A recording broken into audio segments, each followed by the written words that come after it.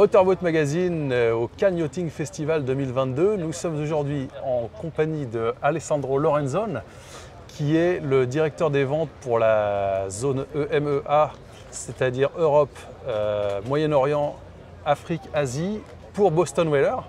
Alessandro, bonjour. Alors euh, là, on est donc au, Yachting Festival. Vous avez déjà pas mal de bateaux à, à présenter, mais il y a encore des, des surprises qui nous attendent un peu plus tard, si j'ai bien compris. C'est ça, c'est ça. Donc premier, euh, je voudrais m'excuser pour mon français, que c'est pas vraiment exceptionnel, mais moi j'essaye. On est, on est ravis que vous parliez en français avec nous en tout cas. Merci. Donc oui, on est là, on est très heureux d'être à à Cannes euh, cette année aussi, sur le quai Pantiero. Euh, on a un très bel stand ici avec quatre bateaux qui sont en exposition, les 380 Realm. Réal, ouais. On a deux différentes versions avec différentes motorisations et technologies de les 380 Outrage. Et aussi, on a les 330 Outrage, que c'était un best-seller pour plusieurs euh, années ici en Europe. Ouais, Donc un bateau très important pour nous. d'accord. Et justement, en parlant de outrage, il y a, si j'ai bien compris, on a un nouvel arrivant qui ne devrait pas tarder à, à débarquer. C'est ça, c'est ça, Qui merci. Euh, on a ici un petit maquette euh, pour euh, renseigner un peu des clients. Euh, c'est les nouveaux modèles de la famille Outrage qui s'appelle 360 Outrage. Ouais. C'est la nouveauté de l'année. Euh, on a ici un petit maquette qui c'est c'est joli, il arrive de l'Amérique. euh, et on aura le début international à le salon de Düsseldorf En janvier. en janvier, en janvier euh, ensemble à le début international de le 405 Conquest, que c'est aussi un- le plus grand Conquest qu'on a jamais fait. Et un bateau très important, un bateau cabine. Donc euh, voilà, deux différents modèles. Les deux, ils seront à Düsseldorf. Mais on a déjà commencé à, faire- à discuter avec notre client affectionné pour euh, commencer à faire le travail de présenter un bateau qui serait un grand succès. D'accord. Je crois aussi que du côté de la gamme Dauntless, ça bouge un petit peu. Euh, Il y a un 280 qui doit arriver, si j'ai bien compris. Oui, oui, oui, on a un, un très bel euh, modèle, un nouveau modèle qui va euh, prendre la place de le 200 270.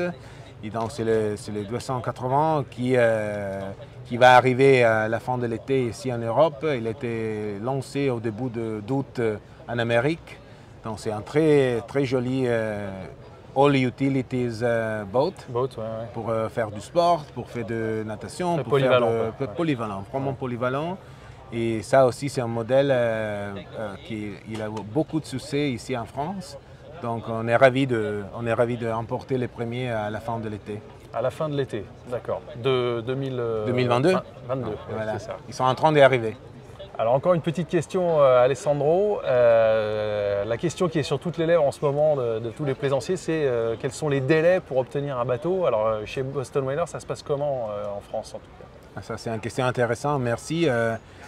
On, a, on a eu un, un très bonne année. Euh, le marché, on a nous reconnu comme euh, leader. Donc, on a presque doublé le, le numéro de bandes de commande euh, qui sont rentrées cette année euh, vers euh, 2021. Donc, voilà, on est un peu dans une situation de délai qui c'est à gérer. Ouais.